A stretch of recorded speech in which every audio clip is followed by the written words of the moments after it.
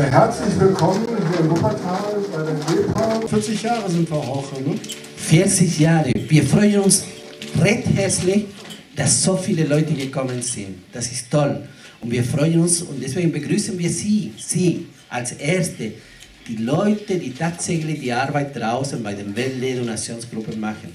Sie sind eigentlich die Säule des Ferienhandels. Äh, wir sind einen Tick, Tick älter. Oh. Sechs Wochen, glaube ich. So ungefähr sechs, sieben Wochen sind wir älter als die GEPA. Und damals hießen wir noch AG3WL, Arbeitsgemeinschaft Dritte Weltläden. 40 Jahre GEPA, 40 Jahre Dachverband. Viele kleine Leute an vielen kleinen Orten, die viele kleine Schritte gehen, verändern das Gesicht der Welt. Und das war Und dann der erste Pfad zur GPA. Zwei Mitarbeiterinnen von uns. Wir mussten ein Darlehen aufnehmen und sie gingen mit 1500 D-Mark damals zur GPA einkaufen. Und dann kamen sie zurück und dann haben wir das in unseren Laden ausgebreitet und waren erstaunt, wie viele leere Regale wir noch hatten. Ich bin der GEPA unheimlich dankbar, dass sie gegründet wurde. Sie hat mein staatsbürgerliches Gewissen erleichtert. Mir fiel nämlich gerade ein, dass ich die ersten fair gehandelt, damals haben wir noch Dritte Weltaktion gesagt, Produkte aus Holland geschmuggelt habe. Ähm, wenn ich so an 40 Jahre GEPA denke, dann fällt mir zunächst mal der Kaffee ein. Das Paradeprodukt des fairen Handels, ja, und vor allen Dingen eben auch der erste Nicaragua-Kaffee, bei dem man sehr, sehr viel Solidarität brauchte, um ihn zu trinken. Aber ich finde es ganz bewundernswert, wie die GEPA auch im Laufe der Jahre da ähm, weitergegangen ist und inzwischen ganz hervorragende Spitzencafés anbietet. Ich habe vor 40 Jahren die erste Jute-Tasche geschenkt bekommen und erinnere mich an das zweite Produkt, nämlich Kerzen aus Soweto. Unser Weltladen ist entstanden aus einer Frauengruppe, Frauen gegen Apartheid. Und da waren diese Kerzen aus Soweto ein wichtiges Zeichen, um darauf aufmerksam zu machen, wie ungerecht das Apartheidsystem ist. Ja, wir sind beiden Schienen sehr dankbar. Sowohl dem Weltladenverband für die Kampagnenarbeit als auch der GEPA für ihre Professionalisierungsarbeit, dass man Produkte vorzeigen kann, dass man Informationen hat, die man zeigen kann und dass eine Qualität vom Marketing und vom Produkt her erreicht ist, mit dem man sich nach draußen trauen kann. Genau, wir wollen wissen, wer hier ist. Und wir haben einen ganz kleinen Weltladen, der 8 Quadratmeter groß ist. Wir haben, wir haben bei der GEPA das erste Mal für 2000 Euro eingekauft und haben dann auch festgestellt, dass alles in den Weltladen reinging.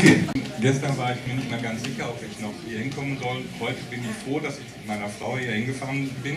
Wir haben, in den, als wir Studenten waren, in den 1977, 78, haben wir angefangen mit der Aktion Dritte Welthandel, auch mit Honig und äh, Jute-Taschen. Hast du gesehen, welche Vielfalt die Wellen darstellen? Ja, wie schön, wie toll, auch was die Dame dahinter sagte. Ein Wellladen, der ein Zuhause anbietet für viele Menschen. Für viele Menschen aus allen möglichen Ländern. Das finde ich toll, diese Idee. Ja? Und ich danke Ihnen für diese Vielfalt. Es gibt viele Herausforderungen. Also, Weltläden bewegen seit 40 Jahren, das ist unser Motto für dieses Jubiläum. Vom Dritte Weltladen über den Eine Weltladen und jetzt zum Fachgeschäft für fairen Handel. Ich denke, das ist ein toller Erfolg für 40 Jahre Arbeit. Da haben wir alle, Sie alle zu beigetragen. Und das ist unser Ziel, den anderen Handel, den fairen Handel weiter voranzutreiben. Und die Ersten, die angefangen haben, Wirtschaft und Sozialverträglichkeit miteinander zu verbinden, vor über, weit über 40 Jahren, das war diese Bewegung von Ehrenamtlichen aus kirchlichen Strukturen, aus Jugendverbänden, die die ersten Gruppen gegründet haben, von denen wir einige hier gehört haben. Und was haben sie da auf die Beine gestellt in dieser Zeit? Ich glaube deswegen, wenn der faire Handel politischer ist, heißt das, er macht nicht nur in dem Rahmen was, in dem er was verändern kann und Handelsbeziehungen gestalten kann, sondern er wird immer auch wieder kritisch bleiben, unbequem bleiben und auf das gucken, was um ihn herum passiert. Und ich glaube, dass genau das auch die Bewegung der Weltläden macht, immer schon gemacht hat und machen kann. Und damit du nie besiegt werden im Leben, haben wir diesen Baum mitgebracht. Und das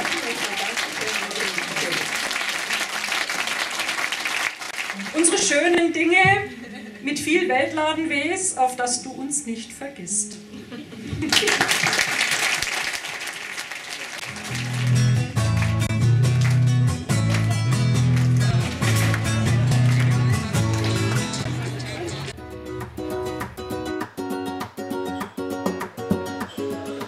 Ich arbeite im Weltladen Köln mittlerweile seit fünf Jahren.